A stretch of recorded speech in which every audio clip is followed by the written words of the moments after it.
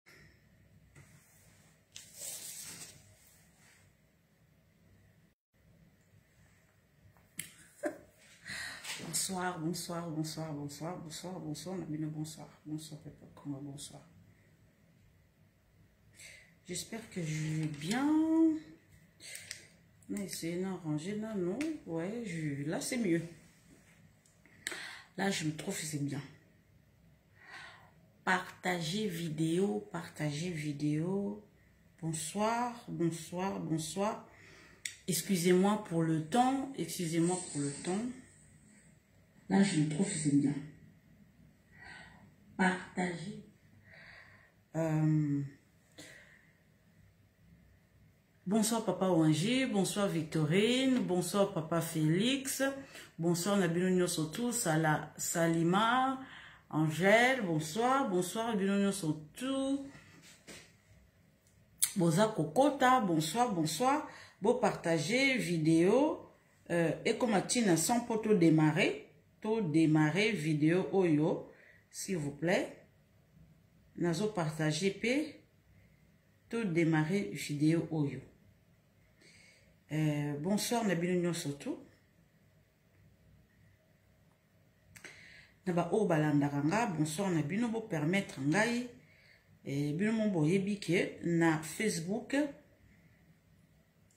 il faut tout le temps partager donc euh, ezali loi ya facebook soki ekomi na 100 moi vais déranger les donc je vous demanderai de partager et l'amabilité s'il vous plaît de partager s'il vous plaît voilà euh, en ce moment j'ai des problèmes euh, sur youtube mais nous à très bientôt Nous à très bientôt d'ici demain ou après demain bon moi on sur youtube voilà donc, vous partagez vidéo au maximum, s'il vous plaît.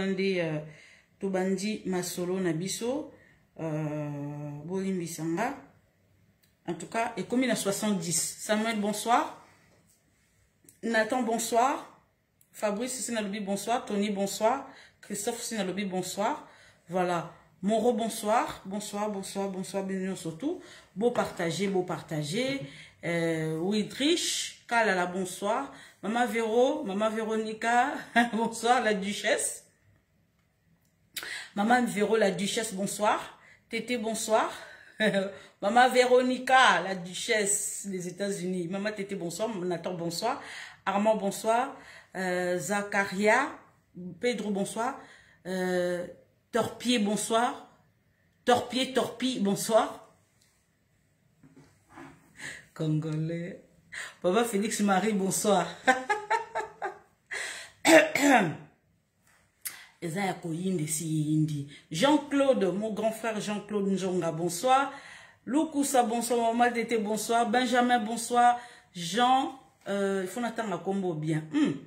jean Bir, birniarnia bonsoir le déboulonneur bonsoir adisha baba bonsoir nga na so na kana adishi bonsoir bernadette Bernadette, c'est pas Bernadette Chirac là. Hein? bonsoir. Fiston, bonsoir. Samuel, bonsoir. Christina, bonsoir. Small Talk, Kassa, bonsoir. Maman Annie, na Canada, moi, bonsoir. botie sante il faut bopartage botia sanso botie sante eza ya koyinda lelo eseyindi yo boyokaka sure mama veronica la duchesse tika baproblème soo ba blocage mama alpha bonsoir félix antoine bonsoir mama ami bonsoir Ma, max bonsoir kachi bonsoir mama jeannette mama jeannette asekaranika mama jeannette molonga bonsoir yo sekaranuka macoste bonsoir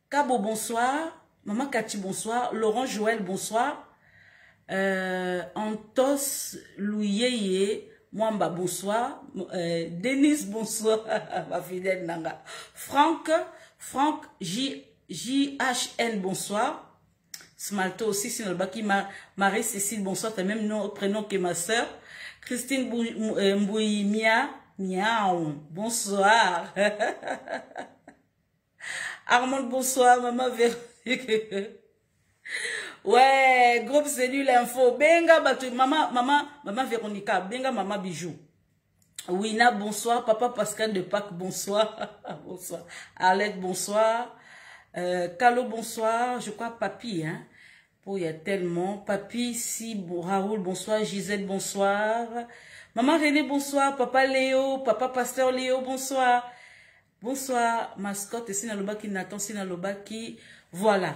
Donna, bonsoir. Maurice, bonsoir. Donc, Toza Kokili. Max, bonsoir. Bon. ah, Seigneur Jésus. botika na oseka na lelo ah! Seigneur. Maman Véro, Maman Véro. Maman Véro en Afrique du Sud, bonsoir. Natangi comme on dit bonsoir, na moni yo sikoyo natangi. Bande konanga. Natuni nano hein. Yango Congo wana etangamaka tozwa baaventurier o oh, to nini bolimbisanga nani ah! yango biso nanu bacongolais to réfléchir nanu non tozonga nao nsima tokóma na motu natuni nanu e eh? est ce que toza normal bolimbisa ngai soki oza na ndako eh? moto ayi korendre bino visite mais ntango boza na comportement moko louche boza na comportement moko eza adapte te etant que humain mais visiteur wana ako s'adapter kaka na comportement na bino mais biso ba congolais toza normal te c'est du fait place nde bakenda yo kotya biso soki otali na njili otali na rompe matete barompoint ebele wana meme na, na kinshasa meme na congo mobimba babelge ntango baza kotonga babelge ntango baza kotonga congo basigne nini babandaki kotya basigne ya franc-maçon batyelaka biso basigne ya franc-maçon biloko nyonso to babandaki kolaka mabe ke bato oyo bamona richesse na bango te bato oyo baza wana babinaka ba kaka bazalaka na bomeli bamonaka bien na bango te babimaka bimaka na libanda ya, ba, ya, ya mboka na bango c'est ça que babelge babandaki kosaka mondele aza oyo aza zoba mondele aza mayele sikoyo biso nde tobaki koreflechir te mundele na aire wana azwaki deja ayebaki deja comment utiliser le noir soki nabeti ye nata soki nakobeti soki arépondre eh, tokeba me ntango abeti motu mwindu mobutu mwindu mpe arépondre abi e eh, awa tokeba tokenda bongo na ndenge mosusu so nazanga mo baoboma nga toya elulu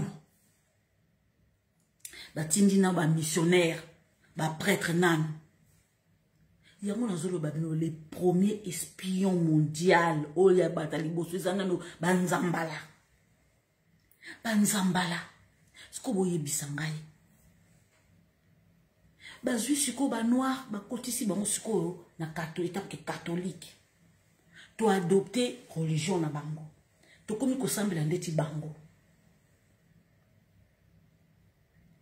au lieu to se comporter ndeti sœur na nga moko nayebi azalaka na paris aya na groupe na biso natangaka nkombo ne tout ntango moye natanga nkombo ne nyonso eza te ya garda esprit ya sauvagene esprit ya oyo bayoka congolaise oyo sentir congolaise aza nazotala nga Je te salue.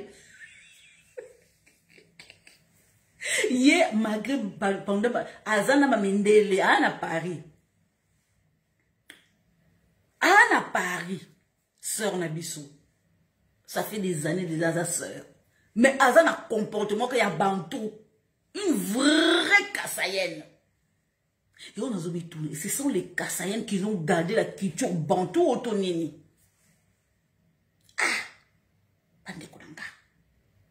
Bazui Sikoyo, nègre de service ya mbongo. Bazui Bachewana. Azo service Siko ba multinational. Aura servi peuple, a servir peuple naïe. Peuple nini, peuple bantou. Attends, oza congolais, oza bantou. Bande Kolanga ye. est ce que boyebi ke ambongo na mosengo bazokoyokana te mosengo akanisaki ke azwaki moto ya malamu il fallait pas ambongo azala cardinal mafia moko eleki na kati wana bandeko na ngai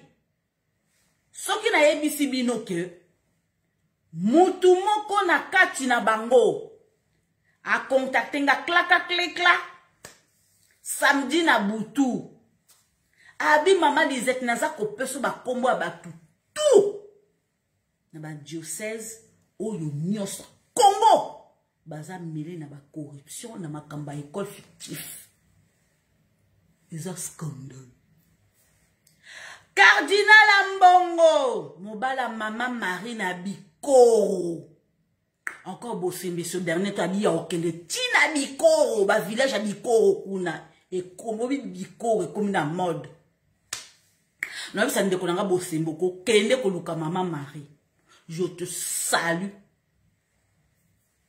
ambongo assassin yo ndenge ozala na ambongo oza koniata bato nyonso tu mutu moko awuti afrique du sud empoisonnaki otindaki bato no baempoisonne ye e eh, nzambe nzambe bandeko na nga tata wana ko batindi bato tala il ne fait pas bon hein? nazoloba mama lisete alobaka verité il ne fait pas bon kozala kasayen na kati ya eglise katolike soki oza kasayen kobimisa motu te soki obimisi motu bakompoisone yo naye koloba ngo natie mai na monoko te il n'est pas bon d'être kasayen na kati ya église catholique obimisa motu oloba oh, oh, bokume bozala na nsima présent fei tshisekedi c'est rare bato bazoloba ambonga sa tie baagent na ye tala likambo oyo lorenzo asali asalaki ancien président eh, nani komone nani nabosani kokombo na ye eh, eh, komone nani dos santos likambo lorenzo asalaki dos santos makambo ambongo asali mosengo asali virunga abandaki kaka azwa kaka kibokonzi mpo abanda konyata mosengo mosengo omoni yo place osuki omoni place osuki omoni toni bavandisi o silencieux baza koboma o malembe malembe moto akodefendre aza te ambongo yo okomi koreduire mosengo en silence bokomi kotuba tube batonga mpo aso reconnaître su te malai d'alzheimer ebela susu eya susu makasi ntango ntango nalobaka ke cardinal ya mbongo mobali ya mama marie na bikoro je te salut ce n'est pas pour rien tata naza moyibi assassin ambongo aza moyibi mwivi dongolo miso ndoka nkule mpimpinta ngai nani ayebisi bino kambonga change achange te nasengi boye merci mutu kaka kontakte ngai aza kaka mi proche nalobi e eh? proche ceinture ya mbongo Maman Lisette Zoba preuve. Ya. Je te salue. Mbongo oyo ya fictif wana ba école fictif. Ba école fictif wana ba mbongo wana ba yokani te. Ba komi ko se dénoncer. Bomoni siko eye mabe. Ceinture ya mbongo ba contacter nga. merci mpo na bainfo nalobi eh, proche suivez mon regard nalobi très très proche bopesa mwasi oyo abwaka ngo nakoyana nakotanga bakombo hey, eh, tala na azotala nga sikoyo aotala nga sikoyo kobanga te na otanga nkombo no te me cardinal wana aza normal te bato nyonso tu mosengo asengaki ya tya atyeka bangala na bangala omoni mosengo omoni ntango papa etienne abandaki koloba na yo abandaki kokonse ondimaki ye te oke kozwa kaka ko oyo okuta aleki yo na mosika oyo okuta koniata yo oyo okuta kokunda yo mwana na biso te mwana na biso te maman aza na makila maman ne ougandaise baye kotyela biso cardinal aza mafia tala akotaki na ndenge kimafia akobima mpe na ndenge kimafia bakokanga ye mpo aza moyibi mwivi cardinal ya mbongo mobala mama marie na bikoro bana 5 obotisi kakakakakakaka je te salut yango na yoloba mpona dosie ya mbongo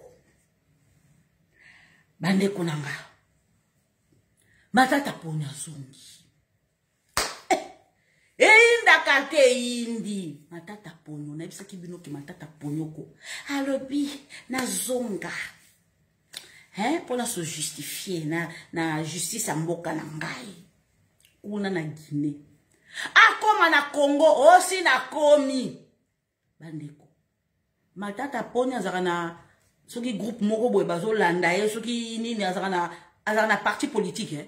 matata poni azalaka na parti politique eh?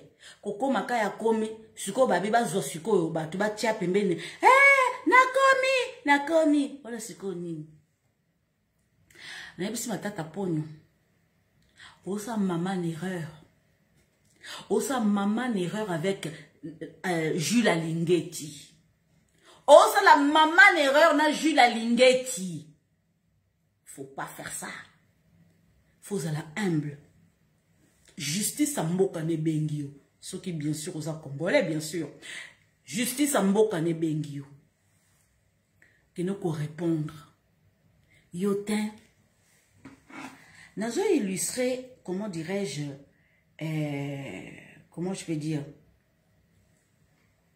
mwa publication na biso publication ya ndeko na biso publication ya papa na biso jean-louis chibalanga oyo natie na mur na nga nazotangela bino ezo illustre kitoko mayobi makambo ya lobi epa matata ponyo boyoka janvier cibalanga cher patriote ma, euh, matata ponyo l'esprit hautain va devant la chute mhm. quand vous dites confronté à la justice ayez qu'on se confronter à la justice. À qui faites-vous allusion Et c'est un affront envers les institutions de la RDC qui veulent vous entendre sur votre gestion des, biens de l'État au nom du peuple congolais Bouyoki. À qui faites-vous allusion. On veut vous entendre pour votre gestion des biens de l'État au nom du peuple congolais donc elingi olakisa nini bandeko na ngai yo oye kose justifie mpo na, na justice ou oye kose justifie mpo na peuple donc ezali fuite en avant que justice bolimbisa nga ke nazwa message hein, ke justice eza instru, instrumentalise azofaka allusion ya ki a jules alingeti ou à président de la république parce que jules alingeti est attaché directement à la présidence donc ozobwakela président ke justice wana kuta eza kuta eloko te mpo ye justice wana moto bato bazodirigeango te eza yo moto ozodirigeango olingi olakisa devant peuple omoni justice wana soki baarrete ngai ezali politike eza justice ya solo te na lingala bopete eza justice ya solo te eza justice ya lokuta moto azosala makambo wana eza nde président kokangakanga bato c'est aussi une façon to balobi ke bonne gouvernance matata ponyo aza tata moko effectivement aza mayele na bonne gouvernance wana étant que ministre tu n'as pas pu koconseiller kabila la bonne gouvernance mais opréféré okende koconseiller ko pays mosusu Guinée. Mais na pays Oyo, qui t'a accueilli, qui t'a nourri, tu t'es marié. Par contre, oza koyiba. Bande kunanga. Tala. Il faut mon ki bato wana bayaki pona kopiye po Congo etelema te. mpo kongo etelema te bandeko na nga ntango tokokóma na heure ya recensement meme baprisonnier bakozala recense bokoyoka na matata ponyo wana azalaka ne congolais te parce que soki oza congolais kosa bongo te na modele oyo azosala ozosala bongo te bato oyo bazalaki na epoke ya mobutu basalaki bongo eh? parce que bazwaki mosolo te na epoka mobutu mobutu abandaki konyata bango neti baalain tundu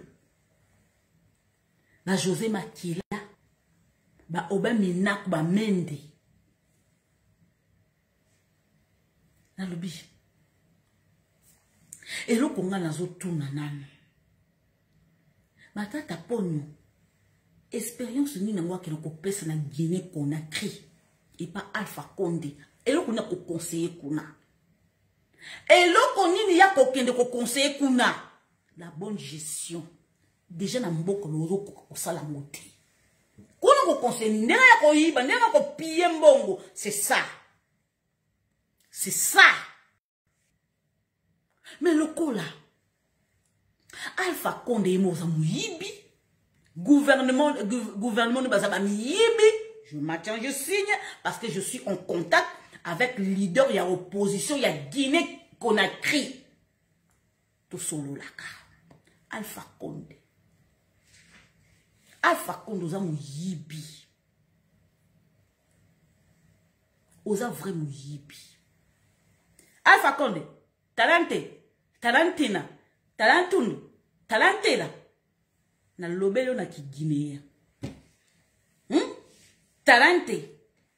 tala ntina tala ntondo je te salue bandeko na ngai matata ponyo aza kobanga na mwasi naza implike kozonga ya matata ponyo eza kozonga te o te parce que c'est lui qui veut non bayebisi matata ponyo soki olingi bakanga soki fondation fondation te mapo babotolo nyonso ya korepondre na justice eloko bino bozoyeba te aza kokosa bino tala nyonso to elekaka en public ko ezalaka rien du tout oyo oh, nyonso elekaka en public omona oyo elekaka na se boyebi te bayebisi ye eza avertissement soki oye korépondre te na justice te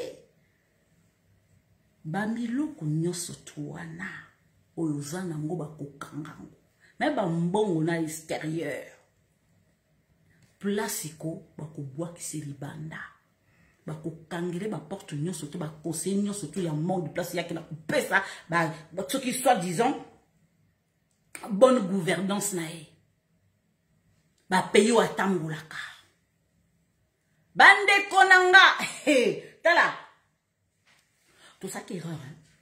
na procès ya 100 jours oyo eh, tatatatatata ya mbala oyo na bokanga lonzo hmm? na comment je peux dire gratuitement de la, gratuité de l'enseignement eza procès moko ekoyinda d'ici semaine oyo bakoleve immunité na ye na ya mwasi na ye bandeko na nga croye moi ya mbala oyo ko bango nyonso ezala lexi tambwe ezala soki kameri ezala soki banani banani bakorepondre mama rose mutombo mwasi wana ye mabe baprocureur mingi bajuge mingi baprocureur mingi mpe bajuge mingi bakokende formation na états-unis kozwa formation bandeko na ngai makambo ya bokanga alonso ezalaki partage total na bahomme politique ezalaki partage bandeko hey, tala oyo oh, bino boyebi te ko so nazoyebisa bino eza ya koyinda esi eyindi elobi na nga ndeko moko ndeko na nga moko alekaka na nini comment dirais-je na eh, congo news Bandeko, même, même Kamere aza impliqué. Kamere aza impliqué na Bukanga Lonzo. Nandimaki likambo na te. Mais Jeune Afrique a publié yango. C'est vrai. Jeune Afrique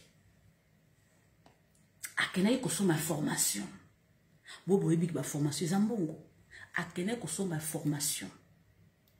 bapesi ye mingi te ma bapesi ye oyo il faut yango nazoyeba ko matata ponyo azosala maman erreur matata ponyo azosala maman erreur kamera akendaki koso festoye ya eh, abagroupe noki soki groupe moko ebandi kolanda ebandi kolanda ye na suka yango basukaki wapi kamere na butu wana kaka omokamate omofunge na boloko ye wo début ya 20 ans yango wana do matata poni eura faire akitya mikitisi te ye aza koganga ye aza koganga mpo na nini peuple eza na nsima na ye oza lokuta bandeko na ngai kamere aza implike bobanga te soki boyoki te babengisi kamere na makama bokanga lonzo tokaka na twitter boye bili kambala lobi nalobi e eh? bili kambale egala kamere bili kambale azali mwa l'enfant chéri de kamere akoya kokosa mpo na kamere soki oyebi likambo wana eza vrai te fanda sui fanda sui oye koloba loba oso justifie pourquoi oso justifie pourquoi parce que oyebi bandeko na ngai boyoka article oyo eya koyinda esi eyindi igf souligne en conclusion que plusieurs types de matériel ont été pillés sur le site Bukangalonzo notamment le puits notamment le plus, le plus, 30 tracteurs. 30 tracteurs. Plusieurs groupes électrogènes. Nalobi, hein? Nalobi, hein? Vous vous rappelez Maman Denise Nyankero alingaki akende kosunga groupe électrogène na mama yemo je crois moto adevansaki ye nani amida amida amida tomona kaka abeti virunga ayemba ngo na balampe électrogène asungi ah! sikoyo bimi kambale azoba ko te kamere aza na ferme te o oh. ntongo bakangaki neveu ya, ya kamere bakangaki wapi na ferme na ye peut-être jeune afrique akomaki article ablo eh, o oh, nani kamere aza na ferme kote soki ya maluku aza na ferme na ye soki soki 100 km 150 km ya kinshasa batracteur balampe bayango balobi awa bagroupe électrogène tovanda kaka ami dachature amemi biso bagroupe électrogène ah azwi yango wapi il faut commander ça prend du temps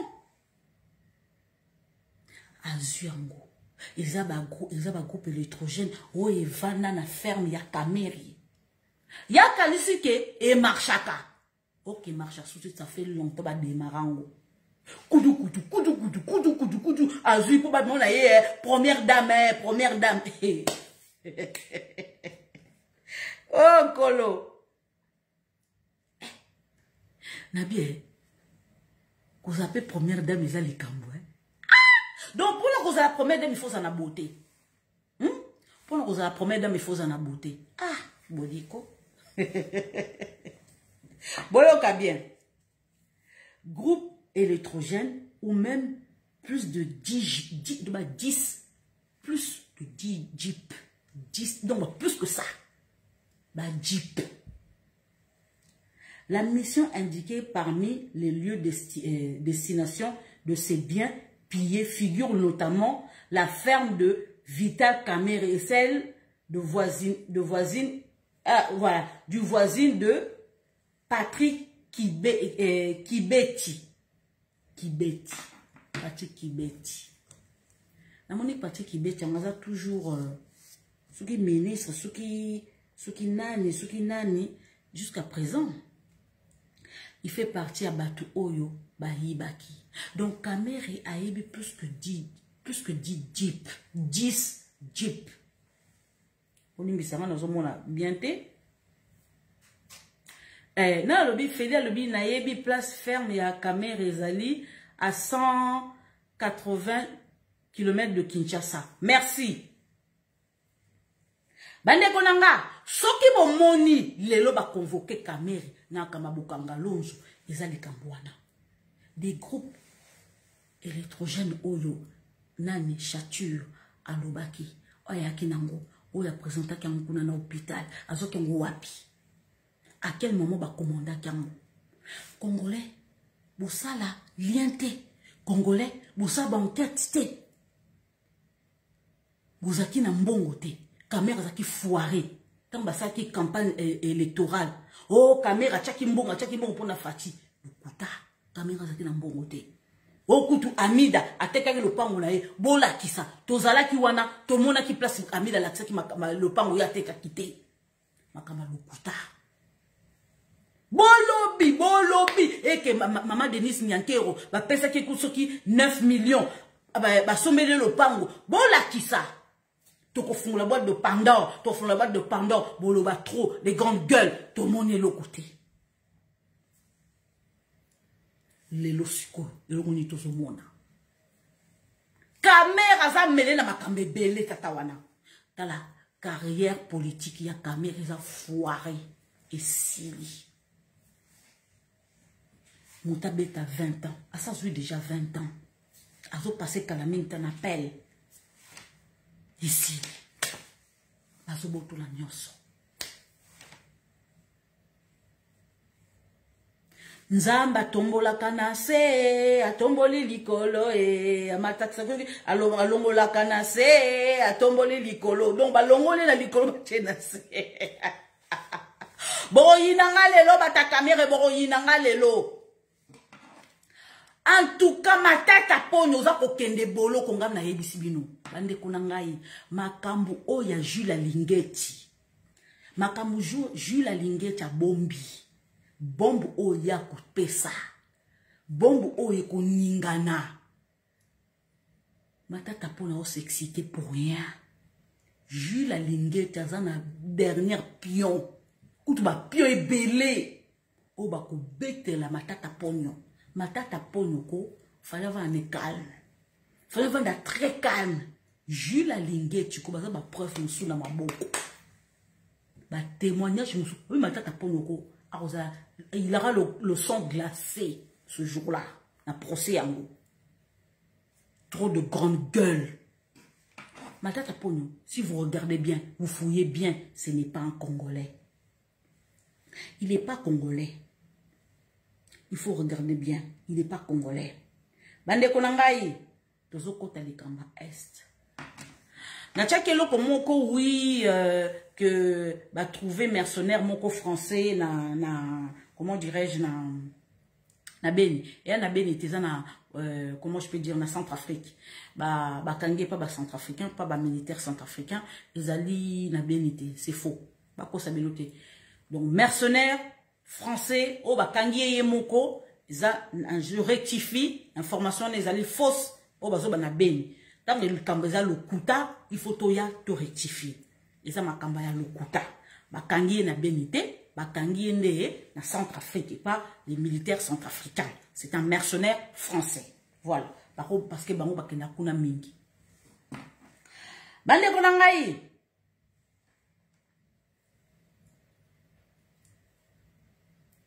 premier pays africain mondial, celui qui produit le coltan, depuis que Baché était de siège, à mon production, comme en baisse. Vous-même, vous savez c'est qui, c'est la Rwanda. bandeko na ngai malgre eh, président félix tshisekedi akuti na kati ya pouvoir rwanda bana toujours kocontinue kopille baminerai na biso à travers ces mercenaires bandeko campagne ya diabolisation makasi envers état de siège je vous lire toujours. Vous avez, je crois que vous avez lu sur ma page, euh, sur mon mur.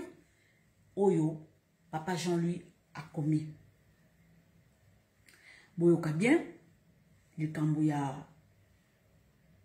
Que Sonia Rollet, et média de d'Orsay cesse les discours unilatérales de discorde et de doute qui tentent euh, d'installer sur la population de la République démocratique du Congo.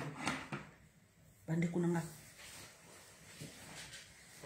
Naye bisarabino Sonia Rollet, à l'époque, RFI Tobanal Kolanai.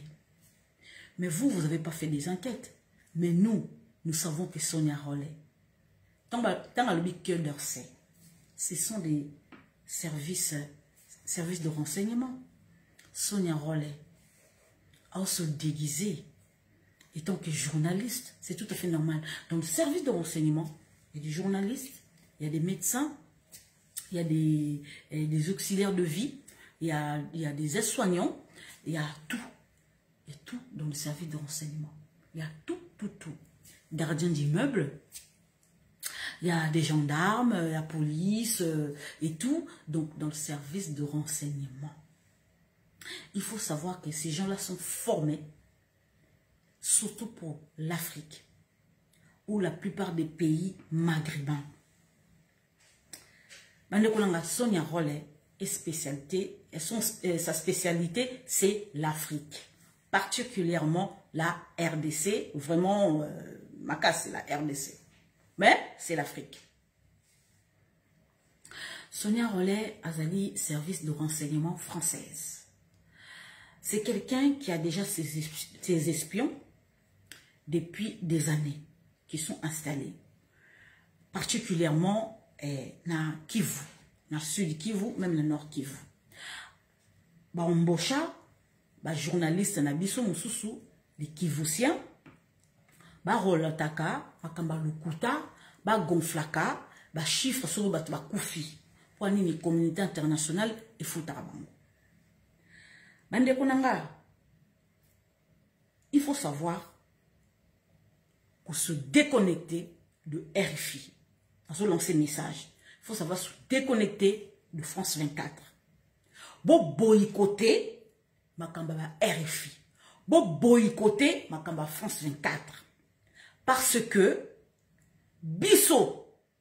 biso to bake toza bana mboka bo privilégier biso parce que biso toza bana mboka topesa bino bainformation kitoko toya kokosa bino te surtout toza bata faci tokolinga bamona image ya présent félix tshiseke kitoko mpe torelate vérité nasengi na bino boya kosabone énormément na chaîne na nga youtube parce que d'ici peu na bakoleka susu presque plus na facebook na bakoleka kaka na youtube youtube ekozala kaka youtube mpo soki nazwi kaka information kaka ba mbala moko meme soki ezali infor, information moko ya 10 minutes nakoleka na youtube na tia na youtube bokoriske borate ok ntango boke kosabone na chaîne na ngai youtube Tango naza koleka et kopesa bino sonnette, maman Lisette aza koleka.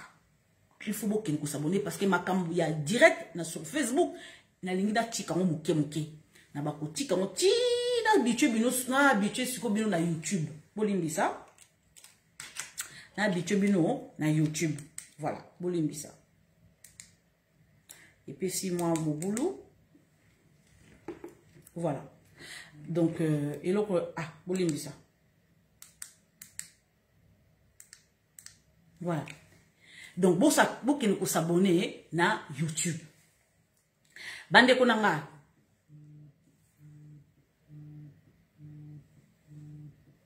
baembauche baembauche bana sud kivu ebele Israël Mutombo akei liboso na Kampala kokende ye ake Kampala aye koya na Bunia bokomona Israël Mutombo akosala ba comment je peux dire ba reportage soki eza mpo na diabolisation te akosala campagne soki eza mpo na ba fardc te akosala campagne contre président félix tshisekedi donc azokende kofilme comment je peux dire ba, ba, ba population kuna comment ça se passe comment la fardc travaille nasi bafuti déjà israel mutombo pourquoi israel mutombo aleki liboso na kampala mpo aya bunya ye moko ayebi ye moko ayebi mpo alingi bamona ye te bato nini ye ake kokutana bango na kampala bandeko na nga bajournaliste wana bastourne langue na bango cette fois mpo bayebi ke population ekomi kolashe bango soki balobaki ete balobaki balobaki te ke tosoutenir fardc population lingo tourne contre bango parce que eza normal te bazoboma bandeko na bino na sud kivu bino bajournaliste bozoloba te donc ela eza, eza, eza, eza lokola kaka balingi baganye mwa opinion eh, na population ke non eh, toza na fardc lokuta baza na fardc te mais biso par contre toza na bango mayele Même à l'eau, ce qui, ce qui louara là, ce qui louara, loupero, louraro, louhourou, je sais pas. Même ndenga lobi bongo, loukouta a changé te. Batouana bakotika ko changé te. Ou les 5000 dollars. Lobi tant ba investisseur ba ya kokota ba vandi. Ba congolais ba bandi misala. Ba komi ko toucher même ba 1000 dollars, ba 2000 dollars, ba 3000 dollars. yo otikali na soni okoma journaliste ko topesi bino meme pas deux ans bajournaliste atyanana eloko moko boaporte kutu te bandeko na ngai nasengi na bino boya kosabone énormément na youtube ya mama lisette parce que dans les semaines à venir bareportage ya kafukafu président félix tshisekedi atandi ya lubumbashi ekozala ndongo kuna bandeko na ngai ngam nazorapporte bino sonia role asili soki bafrance 24 basili masolo esili biso bataliban surtout ngai général d'état major General d'état major de Taliban na ye mabe mikolo oyo. Ba information kafu kafu oyo ya ba FARDC. Bandeko na ngai. Makambo oyo toye komona verite ke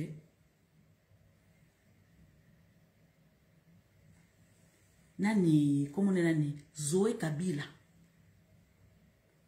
or ke atonga na ye te atonga rien du tout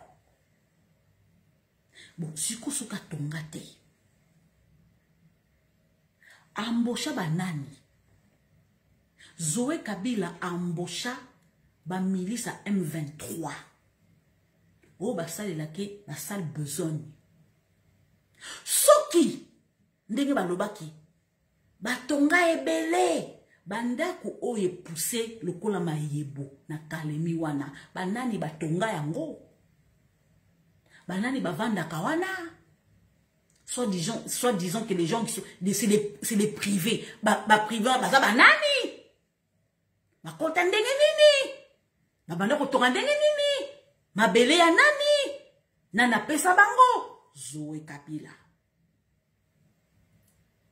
bandeko na ngai nalobaki likambo soki ya francine soki francine moyamba soki francine moyamba hmm? une refugie politique ayaki kokota oyo mpe barefugie alobi ya botama na kalemi bafinga ngai ah bafinganga tala moto alobi aza kobwakela biso abi peuple congolais bakokufa makila na bango ekotanga siko nga nazongisele nga biso soki makila na biso ezotanga soki oza mwasi bota na mema makambo yoka tole ya modèle wana na, na, na kati ya twitter wi nalobi yango pendant ke ye azomenace peuple congolais ke tokufa makile kotanga azomenace président fei tisekedi azomenace biso ke makila ba peuple congolais kotanga so totouche babanyamulenge ngai likambo nalobi soki aza mwasi soki aza mwasi aza tembe abota mpo nayebi dossier na ye francis muyamba butu na moi nani aponaki mwana wana moto aponaka mwana wana na rwanda epa nini barefugie ezali nani jeannette kabila amemelaka ye epa, epa nani première maîtresse ya nani ya kabila francine muyamba aza eloko basalela aza je match je donc je maintiens mes mots aza eloko basalela après par la suite mabunda mabundiste ye mpe aza eloko basalela kobotalaka nzoto wana te kitoko wana te o soki pembe wana te non apparence eza apparence mwasi nde caractère bazotyela bino twitter oh, oh, moyamba wana akomaka bien o oh, mabunda akomaka non botala caractère mwasi apola twitter elakisaka caractère te bapola basi wana baso basalela ntango azomenase peuple congolais bato baza kofinga ngai nazodefendre peuple congolais oh seigneur bapréfère badefendre une étrangère ke ndeko na bango ya mwasi bafinga ngai ndumba obota na président fei tisekedi osala tolo boye osala tolo boye bafinga nyonso tuna mpo na nini aza na nsima président tala congolais ofinga ndeko na yo deja yezu masiya bafinga ye bongo nga kutu bongo président kutu yango nga nasepelaka bofinga bofinga bandeko na ngai ngai naza na kote ya bien na kokota na histoire bakoloba nkombo na ngai bakoloba nkombo na ngai janet kabila azo entretenir bamilice oyo bazoboma bakongole kuna butu na moi kasho moko eza kuna na ndako ya zoe koboma bakongole kokatakata bango nanga ayebi te kezwa bakokota bamilisi nanga ayebi te ke jeannette kabila aza implike na makambo ya est nanga ayebi te nanga ayebi te ke baminere na biso eza kobima grâce ya jeannette kabila nanga ayebi te nanga ayebi te ke eh, nani jeannette kabila azalaka espion ya kagame nanga ayebi te nanga ayebi te ke zoe atia installa installa na kati ya ndako na ye basololaka bien na kagame installa bapareil oyo ebrouyaka banini banini ya, ya comment je peux dire banini ya militaire na biso mpo basolaka na kagame na ngai yebi te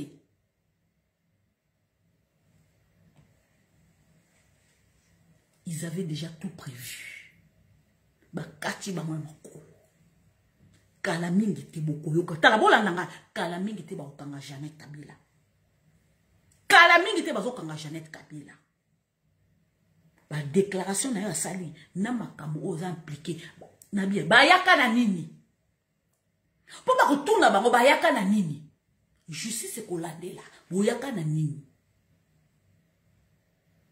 janete ayaki na deux sous-vêtements Jeannette Kabila ayaki na deux sous-vêtements. Ayaki na soutien ta gorge, soutien gorge te. Ata savon pamba ayaki na ngote. Hmm? À peine deux sous-vêtements ayaki na ngote. alati lelo lobi asukoli mosusu alobi asukoli asukoli asukoli asukoli mwasa modele ya ndenge wana biso tomoni ndenge ayaki lelo afirtela biso monoko aza ba entreprise azo gérer mbube tya kote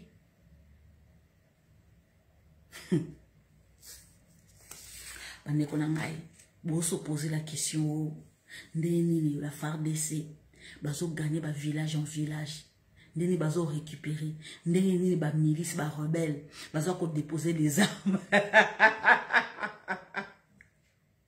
nalobi ye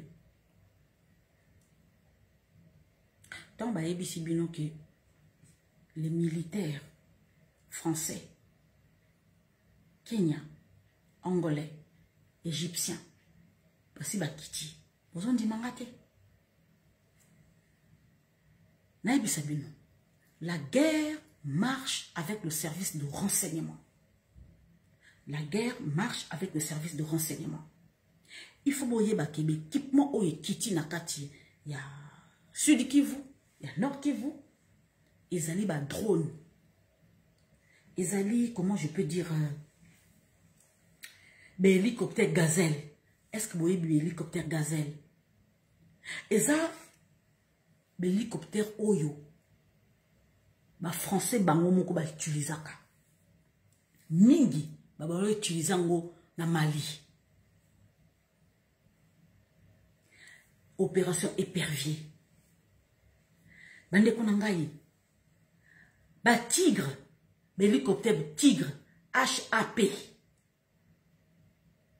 eza likambo akosaka nango te oyo ekiti kuna biso tozomona te ntango nazoleka live nazoyebisa bino ke baza kotire kuna c'est pas pour rien so nazoyebisa bino ke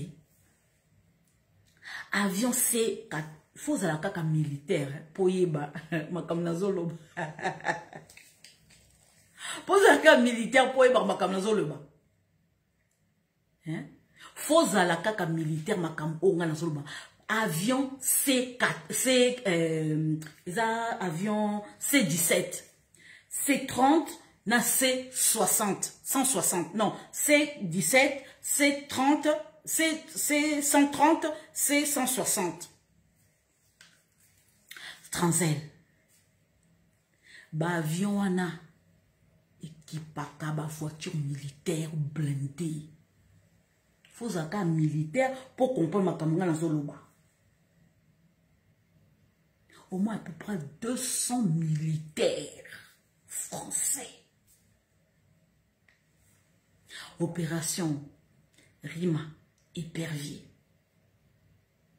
bakosukola bango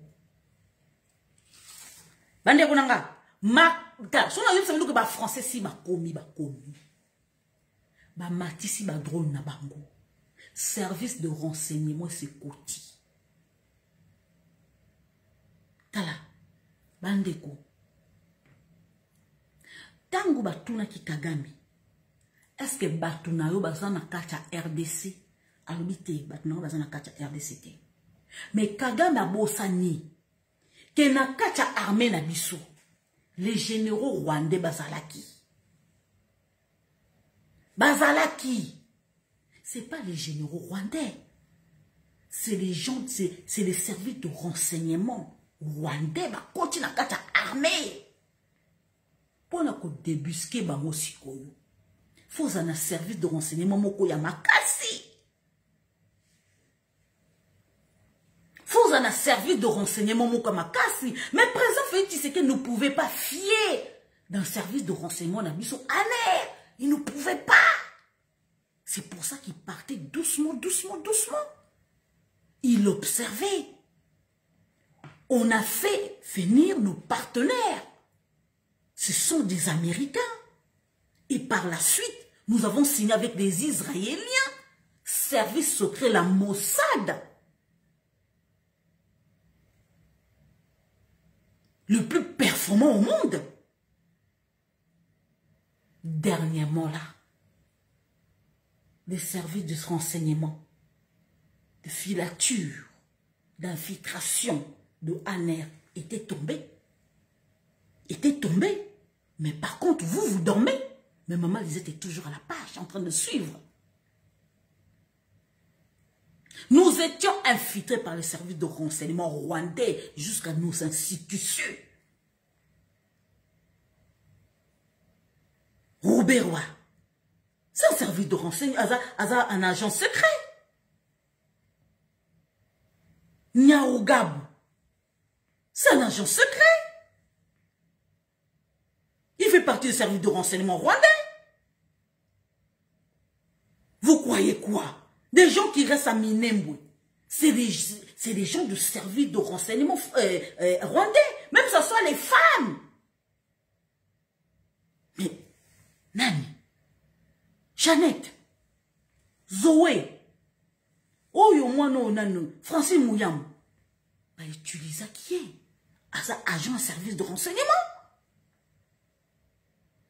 C'est des gens de service de renseignement dormants dormant qui n'agit pas.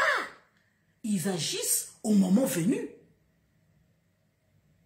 Mais si nous, président Félix Tshisekedi, avait fié sa confiance, comment je peux dire, à, à, à, na, belge, mais les lots, déjà président Félix Tshisekedi. Parce que les Belges étaient sûrs d'eux que le président Félix Tshisekedi n'allait pas réussir. Il n'allait même pas passer mars 2019. Les Belges étaient sûrs mais le président Félix Tshisekedi savait. Le président Félix Tshisekedi suivait hein, la route qu'avait empruntée son père de signer avec euh, les Américains. 50-50, partenariat. Aujourd'hui, le président Félix Tshisekedi est protégé et on l'a orienté vers euh, les Israéliens. Et par la suite, on a envoyé la service de renseignement israélien au pays opérer. Quand on vous met couvre-feu, c'est pour vos beaux yeux C'est pour vos beaux yeux Non Ces gens-là opèrent la nuit pendant que vous vous dormez. Mais où oh, ils opèrent. On veut savoir qui est qui. On n'a pas besoin de rentrer dans vos maisons pour savoir qui tu es. Non Kabila était au pouvoir. Mais c'est le service rwandais qui était dehors en train d'opérer, en train de tuer les Congolais. Et le matin, on se réveille, on trouvait des cadavres. On trouvait des cadavres. Et vous savez comment ces gens-là mouraient Des charniers de Maloukou. Mais c'est des services rwandais qui faisaient ça.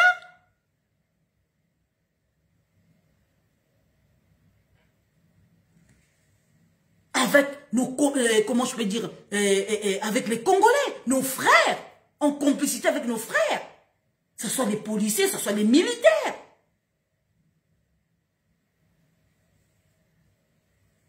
Quand Présent Félix Tshisekedi est arrivé au pouvoir, Présent Félix Tshisekedi a signé avec les Américains. Mais je vous dis une chose, côté Kabila n'était pas du tout content. Ils n'ont pas du tout apprécié apprécié Et par la suite, comme président Félix qu'il a signé avec les Israéliens, mais il faut voir le tollé. D se soulever.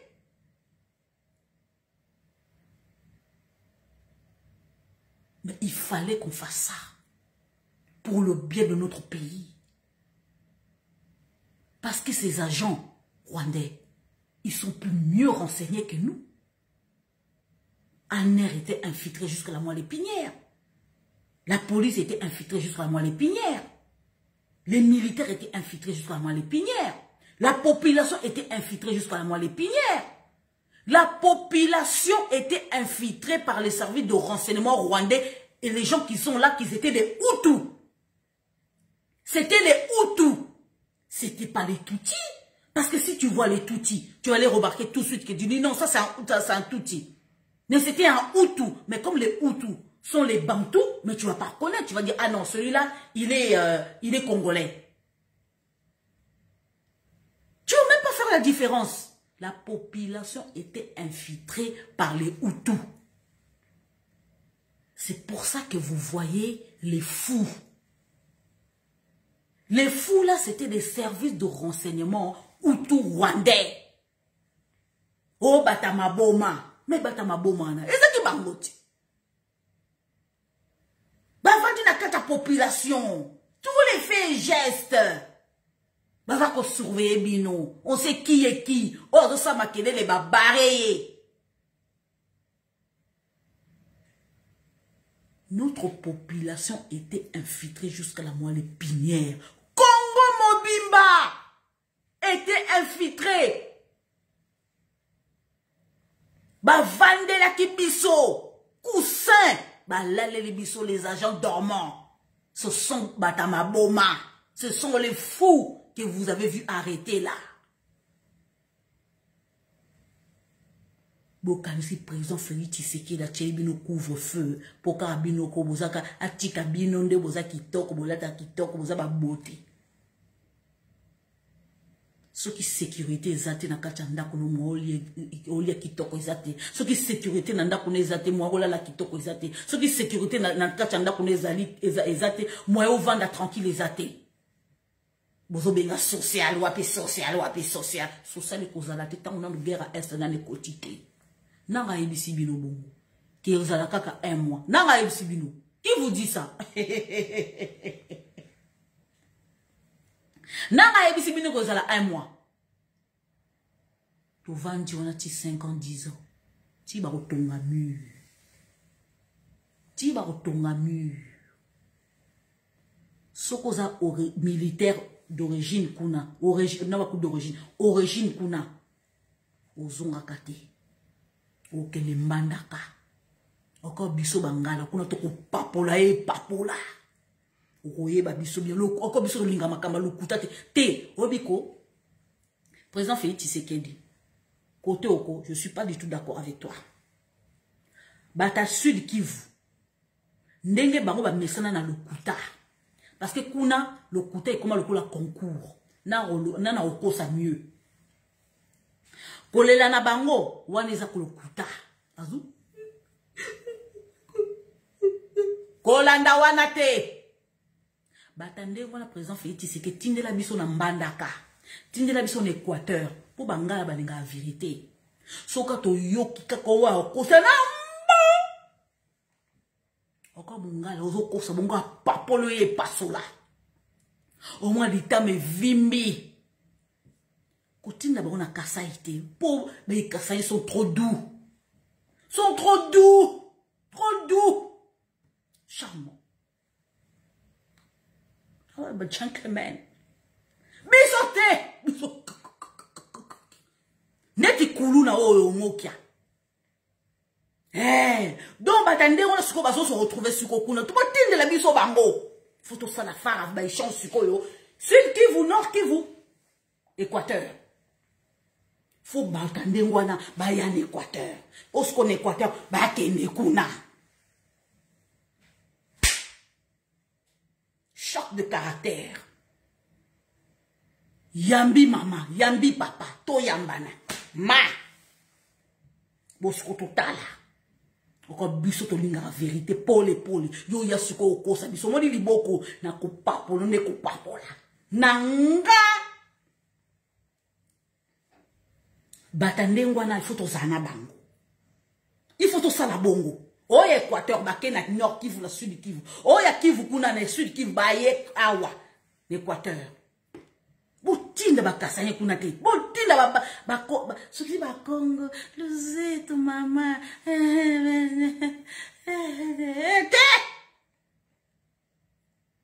il faut bato eh, biso sikoyo nde mwana meme na katanga tinda bangala kuna kasaye ekatanga eh, wetu katanga wetu tinda bangala tokotala siko so drapo wana ekomata batyelaki bino couvre feu wana eza mpo na kitoko na bino te tozalaki infiltre jusque la moelle épinière tala hey, naloba eh?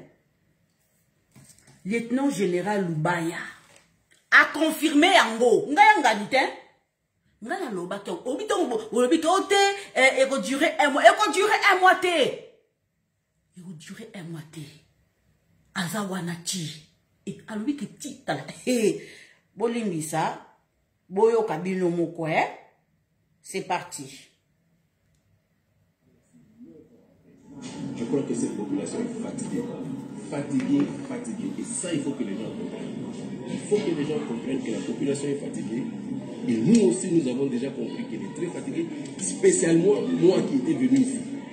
pour faire cette paix encore en 2012. Donc, je leur demande tout simplement la collaboration. Qu'ils ne suivent, que la population ne suive pas la voie de sirène. C'est-à-dire tous ces, je ne sais pas moi, ces gens qui vont leur promettre des trucs. Non. S'il vous plaît, j'ai eu beaucoup d'informations de Kinshasa. Il y a des gens de mauvaise cure, des oiseaux de mauvaise augure, qui sont en train de dire ici, donc voilà, attendez seulement, on fait un mois, on cache nos armes, après un mois, il va repartir et nous allons reprendre. Jusque quand, mes frères hein? Jusque quand nous allons avoir ce comportement Ces armes qui vont ressortir après, c'est pour tuer qui Des brebis C'est pour tuer qui Ressortez ces armes Il y a des fonds pour ça il y a le DDRC qui va venir. Ne pensez pas que je vais partir dans un mois si vous n'avez pas arrêté. Je serai là. Et ça, je vous dis. Et je serai sans état d'âme. Sans état d'âme. Pour ceux qui veulent bien coopérer, nous allons passer. Nous allons partir avec eux. Nous allons cheminer ensemble. Mais ceux qui ne veulent pas, spécialement les groupes armés étrangers, qui ne sont pas chez eux. Ils doivent quitter. Ils doivent vraiment quitter. Et pour la population, je leur demande la collaboration. Je ne suis pas venu ici pour tuer la population.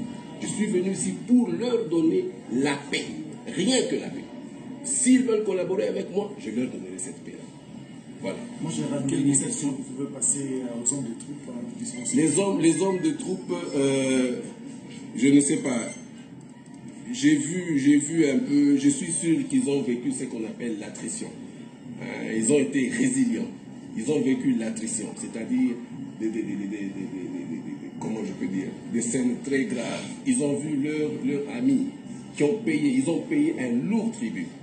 Nous sommes venus ici. Le commandant suprême m'a rassuré, a rassuré à tous les deux commandants régionaux, à tous les, les, les, gouverneurs commandants régionaux. Il leur a rassuré des moyens qui vont venir donc, dans les 72 heures, je suis sûr que Même nous tous pouvons ressentir la différence. Voilà. Ah non, celui-là, il est, euh, il est comme. boyoki eh?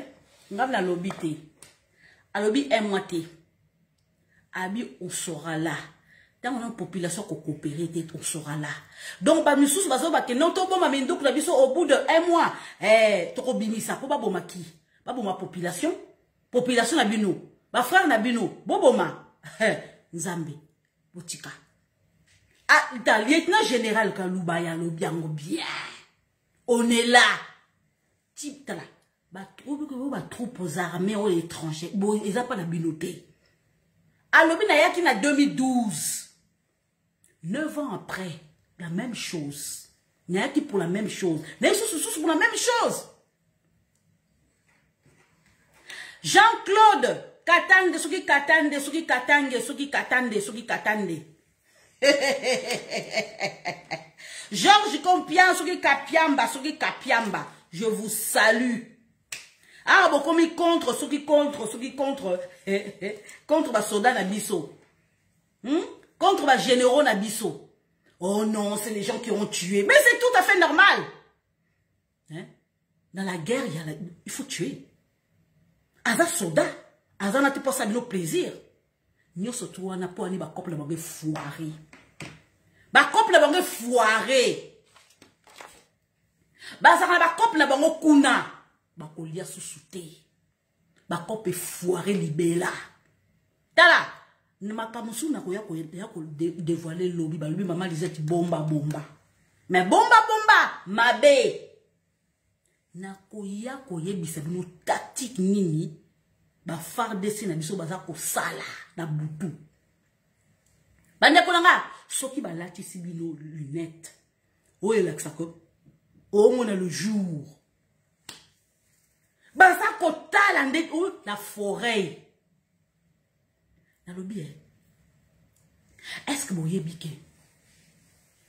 groupe électrogène groupe électrogène nakoloba yango ndenge nini ko nakoki ko boyebi nakodéfinir yango ndenge nini boyebi ndako ya limete ndaka limeta udps groupe électrogène ndeti ndako ya limete ya udps na kati ya foret bainstala yango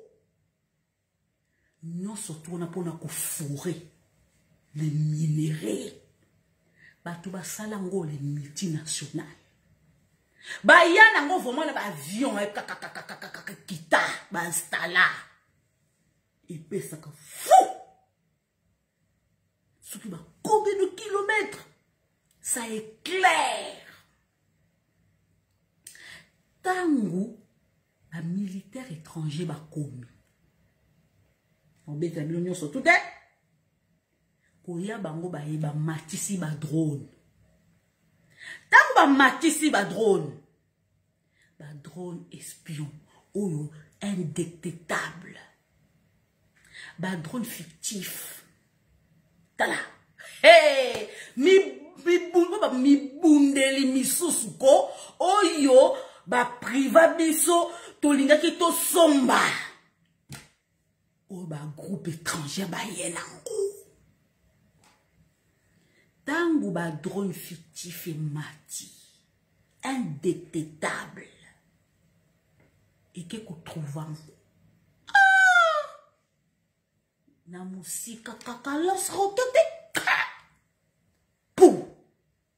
explose baye kokuta minduki baye kokuta tala bacadavre tala bazolinga koloba nyonso tu te nono bazolinga koloba nyonso tu te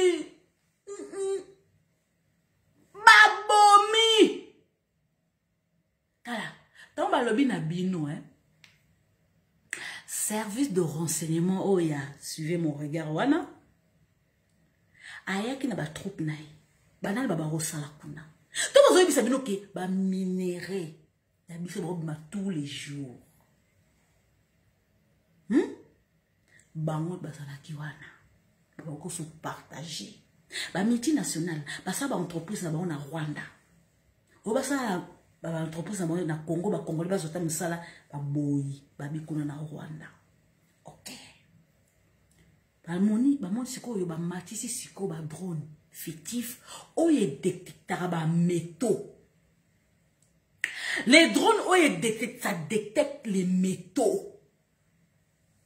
baminduka eza bametoti oyo oh, badrone badrone wana siko etala na sa mabele soki combien de mètre tala ozalaka na larme boyeba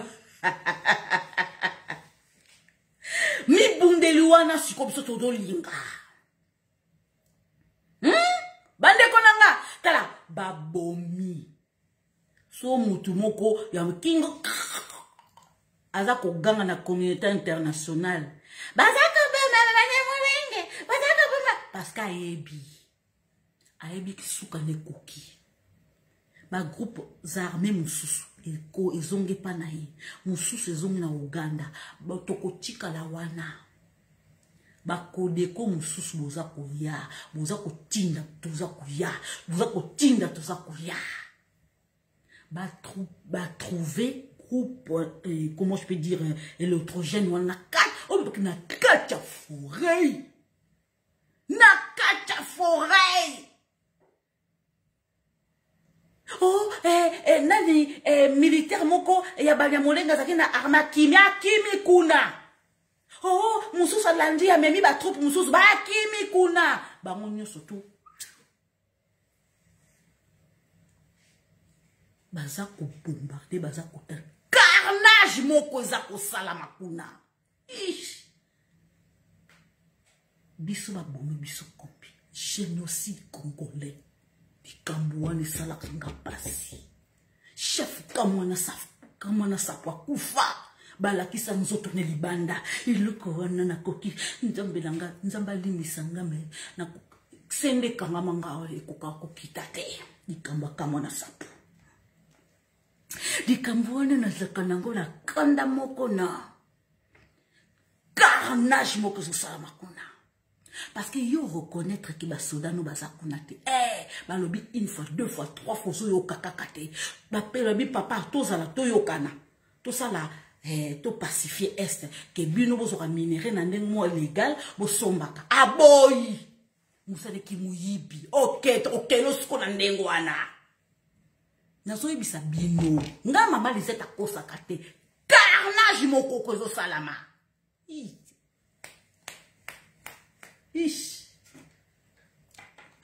tala na kati ya mboka wana namoni bautu bakoleka ke batuti mpo makambo bazosala bango kuna hein oyo baza kokima etali biso te etali biso te bozomona teke na ntongo bolamuki eh, bafardc barécupere village batala na batroupe étrangère nazosola bino baza kobunda bokoyoka lobi barécupere mosusu bagroupes armé mosusu baye kodépose des armes bopesanga raison bokanisa ngai lobi tokomi kutu lobi minuit bokanisa ngai bandeko na ngai tala toza kobunda ko na ba comment je peux dire euh, comment on appelle euh, euh, nini euh, ba drone fictif oyo edetecta edetecta les métaux les métaux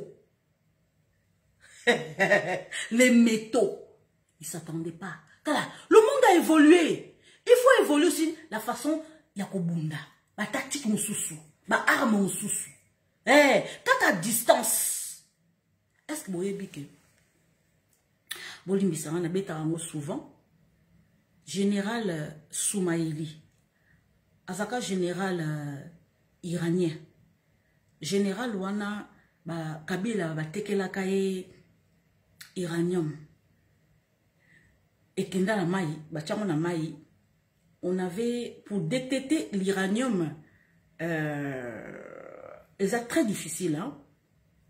mais euh, soki otie papier aluminium faut vrai papier aluminium odétecter te mais Américains bah pareil moko sophistiqué même à partir satellite on peut retrouver les traces facilement euh, le général wana les américain bah ils ont suivi les traces parce que fundaki je sais pas comment ils ont su mais ils ont su ils ont commencé leurs enquêtes en 2013 donc les enquêtes sur place, ils ont envoyé leurs agents, et puis les enquêtes dans un pays, euh, comment je peux dire, euh, maghrébin.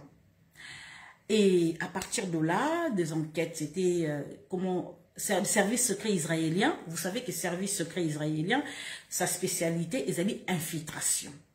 Donc, les Rwandais, ils sont spécial, leur spécialité, c'est l'infiltration. C'est les Israéliens qui ont formé les Rwandais, côté service de renseignement. Donc, les Israéliens ont infiltré, euh, ont, euh, infiltré le service de renseignement iranien. Parce que le service de renseignement iranien aussi, c'est très très fort. Hein, très très fort.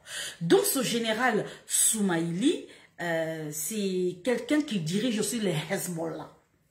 Donc c'est un chef des Hezbollah. depuis ah, ok. Euh,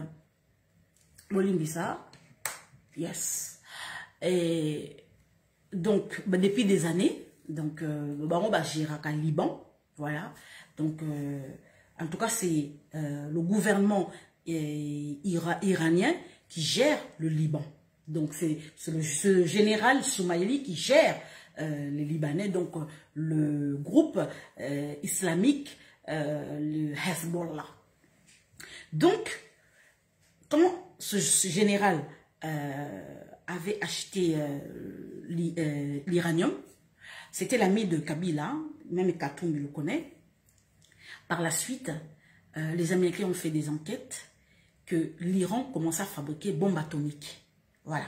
Donc, comme euh, service de, renseignement, la Mossad avait infiltré le service de renseignement iranien.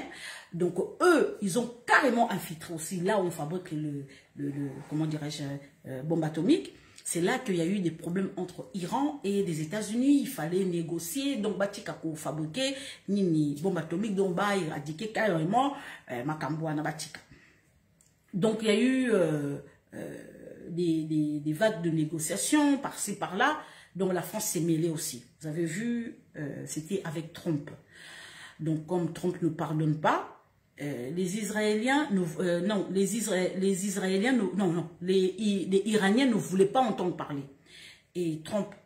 savait que pour atteindre ce général qui était très, très, très influent euh, au niveau de, comment dirais-je, du Moyen-Orient, voilà, parce que son influence croîtrait hein, de plus en plus, hein, allait au-delà même, hein, même jusqu'à l'Asie.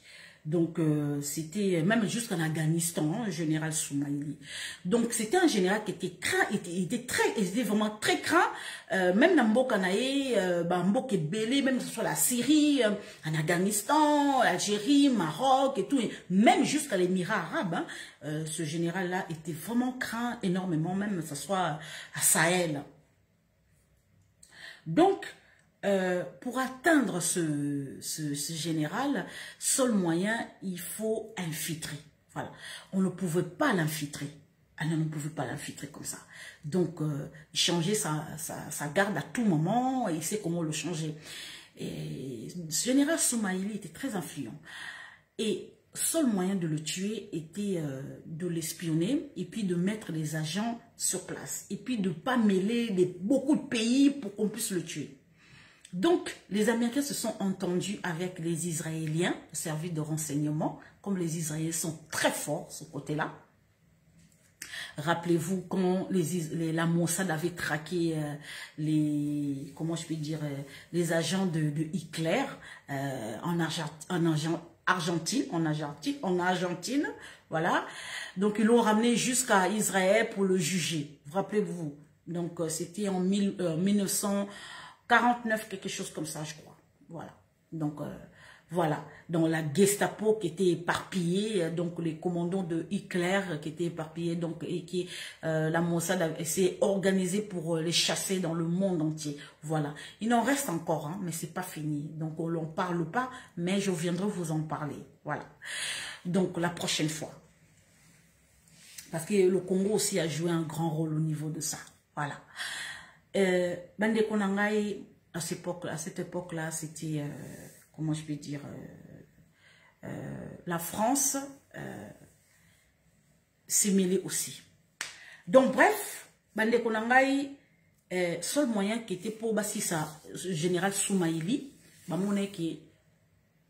azalaki influent makasi uranium oyo bazwaki oyo azwaki ezalaki très important donc il fallait mêler quel pays batali la france la france aza songisongi akofunda la belgique non l'allemagne non la suisse non l'espagne non canada non australie non la chine kutu te la russie pe te Donc, les Américains, ils se sont associés avec les Israéliens, tous les deux seulement, pour infiltrer ce monsieur.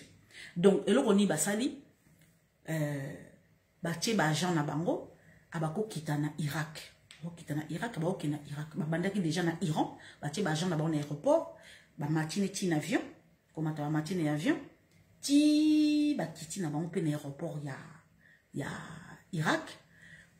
convoi na ye ntango ezwi kaka babi seul moyen ya kozwa ye parce que abimaka abimaka rarement hein? il sort rarement donc abimaka baheure précise hein? donc oyo oh, bango mo bambrouyaka badéplacement ba na ye yo mo boyebi donc eza likambo kosakana te donc ntango babi koza général moko très très très très influent imaginez un peu donc balandeli ye babi seul moyen koboma ye fara fara boye a terre terre a terre boye naye na bana batroupe oyo moto baye tokoboma bato ebele donc na baagent na biso tokokufa ebele tokokufa ebele seul moyen ya koboma ye eza kaka avion fictif baaméricain bazalaka na baavion moko fictif ezalaka likolo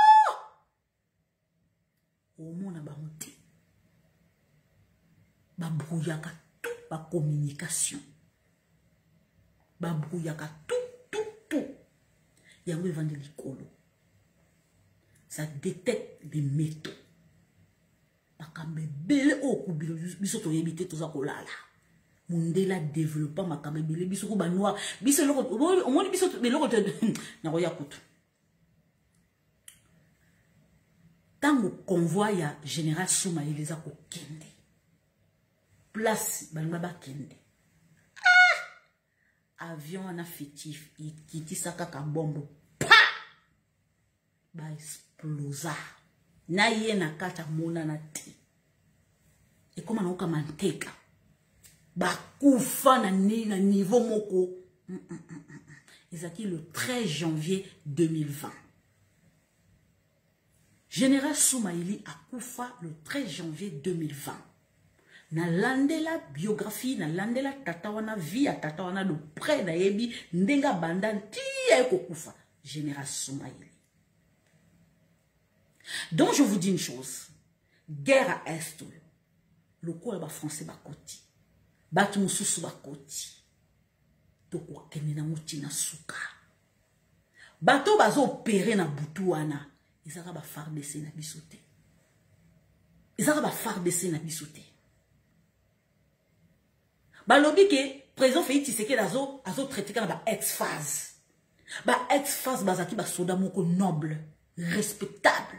Bas, ils ont suivi la formation. Ils ont suivi la formation. Et loko biso baninga bazo bazo la na butute na butute mundele azo azo la la tazo ba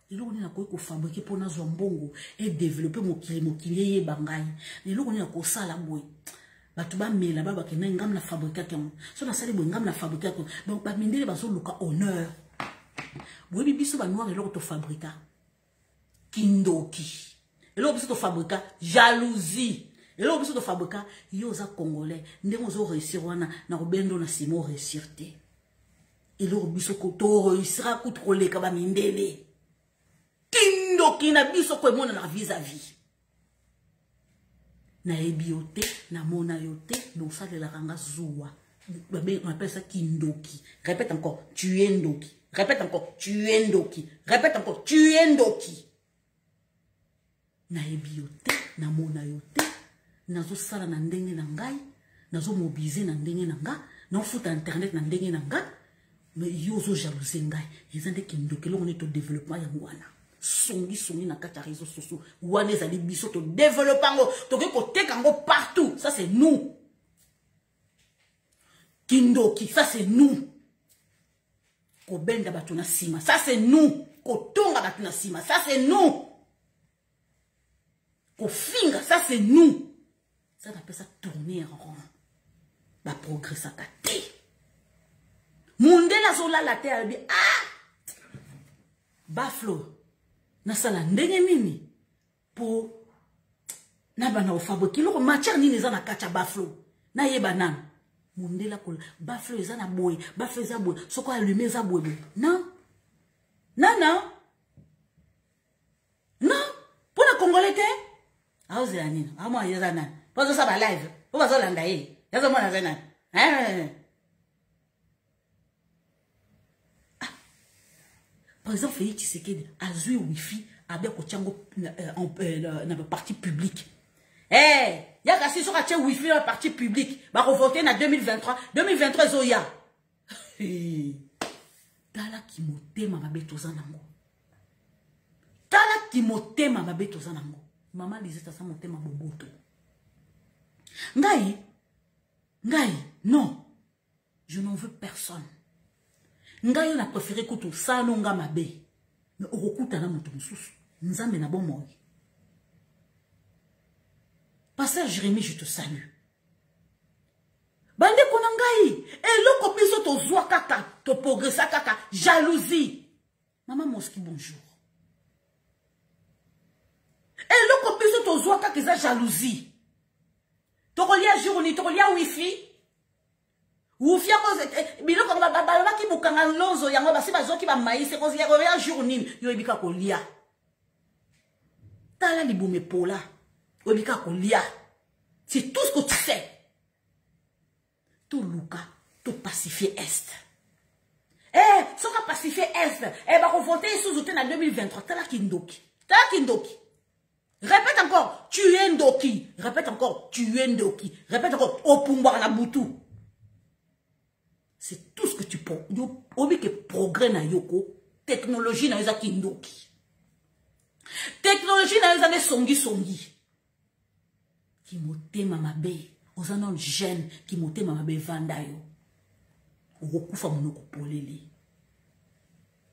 hey, eh, ye azozala na youtube nake kosabone te vanda na yo a ah, wifi ezokota bakongole meke bakofungola bakofungola youtube bakongole meke bakoya kosabone bakongole meke bakofungola facebook bakoya kosabone soki olingi totali yo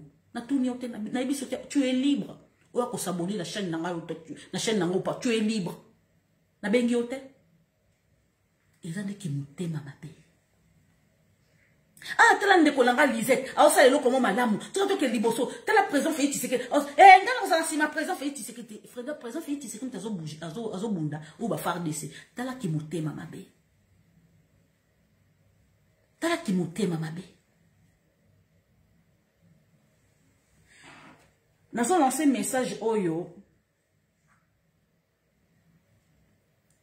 na biso bangala tala nalobi boye en particulier motu moko je te mets à défi imi naza na kanda sino na olinga natanga nkombo na yo non c'est pas moke vous, vous inquiétez pas moke si na sisi dessin na ye aza sili ye aotelema te mpo soki aye kotelema moki ye kotema na mbala oyo azwa kibota ya moki te nazo baparticulier na motu moko boye nayebi ka otalanga je m'adresse à mongala au bangala nalobi boye ntango mokongo afingaka mongala bangala balobaka te ntango un kivusien afingaka mongala mongala alobaka te me ntango moluba aofinga mongala eza lokola batie bango batie na kati ya nzoto na machacha eza lokola na kati na bango batie machacha yango nazotuna phénomène oyo ndenge nalobelaki mokia aza mbunza mpo azali aza noko na nga te anoko na nga te mpo aza makila na nga te atikala mpe kozala mpe te na mwana nakola koto oyo nga nalakisa bana na ngai bolingo ya mboka wi ndenge akola na poto kuna eh, ndenge akola ayebi te nga naza tribaliste te nga na tribaliste te mongala ba tribaliste te me baoyo baza basala na mobutu bango nde badevelopaki tribaliste non s'adresse na bango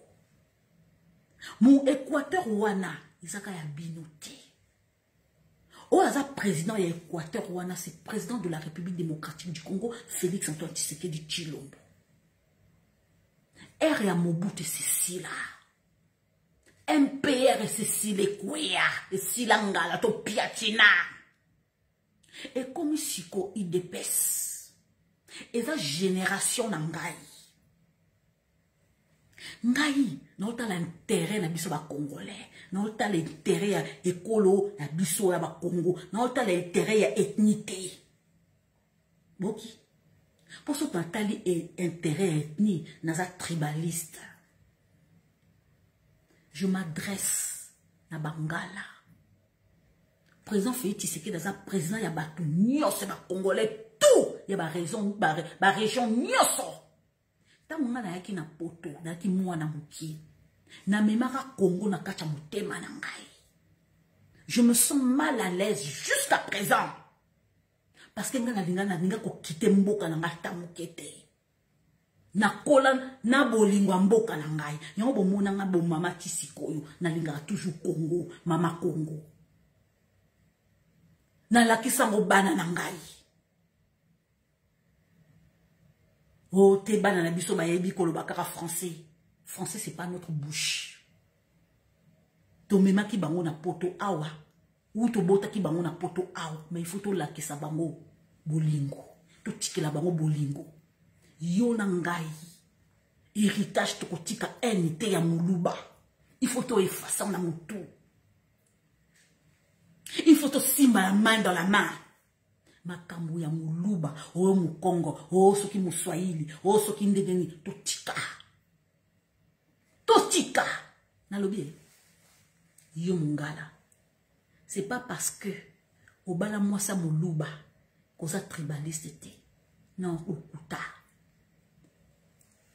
lakisa oza tribaliste te lakisa oza tribaliste te mpo bangala nyonso tu mpo na bango difeke baepouse kasayene kesaya aza tribaliste te okosi mais bazomono butu na butu na réunion ya bangala tika lo hypocrisie tika lokuta totika hypocrite biso bacongolais ata boyini nga je m'en fou naza koloba verité oboyebi biloko oyo bino bozokoka koloba te nga na koloba ngo parce que ekomi aire ya verité to rétablir verité soko boyo vandi obloke ngai oyoki nga soki esali opasi obloke ngai totika makambo ya kolakisa misape ba bakasaya tala ngai ko nakotelema mpe na koloba ngo kuna na équateur nakokende nakokende mpo ezali mboka na ngai ezali region na ngai ezali équateur na ngai na kasai nakokende eza region na ngai ezali emboka na ngai eza province na ngai meme na sud kivu meme na bakongo totika totika makambo ya kokabwana totika eza likambo ya mabele ngai nakozala nsima président fei tisekei te parce que aza kasayen papa osofu eza problème na yo omoi ndenge olobi bongo ça veut dire oza ndoki kindoki ebandaka kaka ngai na kosupporte wana te kindoki nde ebandaka bongo kindoki ezalaka te kozopumbwa na butu te kindoki ezali ke ntango olobi ke nalingaka moto wana te oza deja ndoki ngai nalingaka sina asala ebo oza deja ndoki awa eza likambo ya kasayen te awa eza likambo ya mabele tala soki topacifie est wana tokosoregle de compte tala bokozala vite vite vi bolinga bozonga na mboka yo ndenge oza awa na kati ya poto ozomona pasi ti yo ozwaka mosala yo ozwaka mosala ngai natala natanga programme ya président félix tshisekedi sécurité sociale awa sécurité sociale awa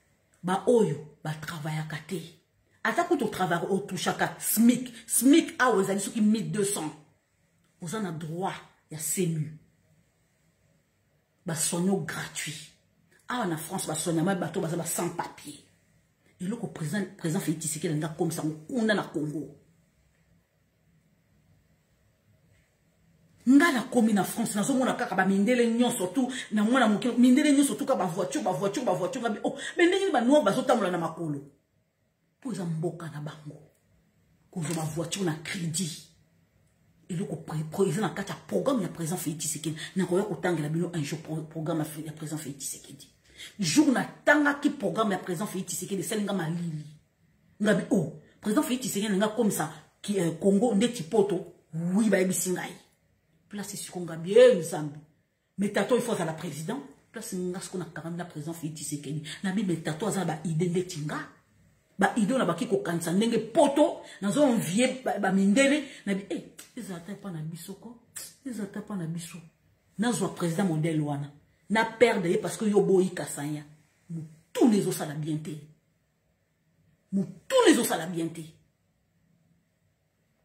moto aza na baide ya bien ya kotombola kongo wana eleka kutu na poto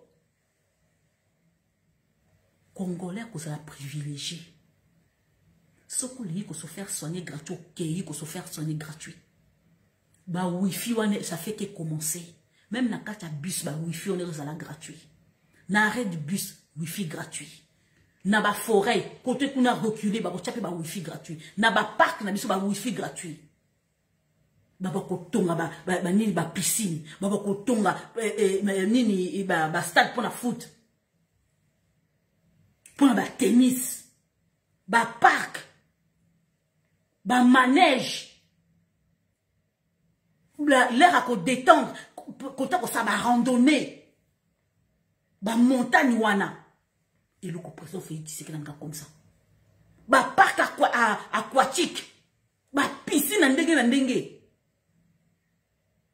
yo oza ndoki répète encore oza ndoki répète encore oza ndoki répète encore opumbwaka na butu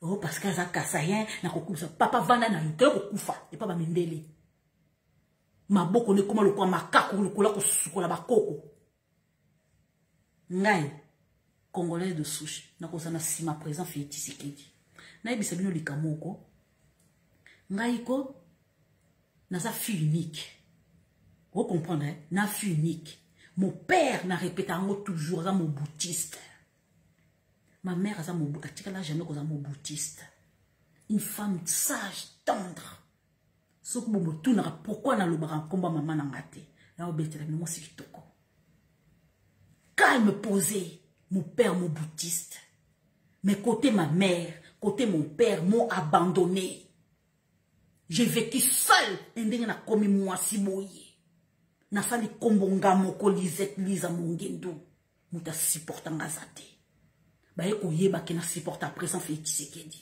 baboya ngai même ça soit côté papa même ça soit côté mama baboya ngai navanda nga moko na bana na ngai mais lelo président félix tshisekedi asali makambo na kati ya congo bango wana bakomi na nsima na ngai dieu est grand elikya na nzambe même ton père et ta mère peuvent te laisser tomber même ta famille mais seigneur te laissera jamais tomber faut le savoir merci wana eza lisese il faut vous fier à vous elikya na nzambe place famille na yo elobi impossible akomata te mais pas seigneur ezali possible yango naza na témoignage monene ngai naza vivante je suis fille unique mama na nga bota nga moko mama na nga bota nga moko mabota ekangama fille unique alors témoignage mobimba yango wana na lute lelo nakomi mwasi monene grâce à motu te grâce à nzambe alors tout est possible devant dieu exemple yango alors il faut pas m'en vouloir sur le nasali kombo sur ce je vous souhaite une excellente soirée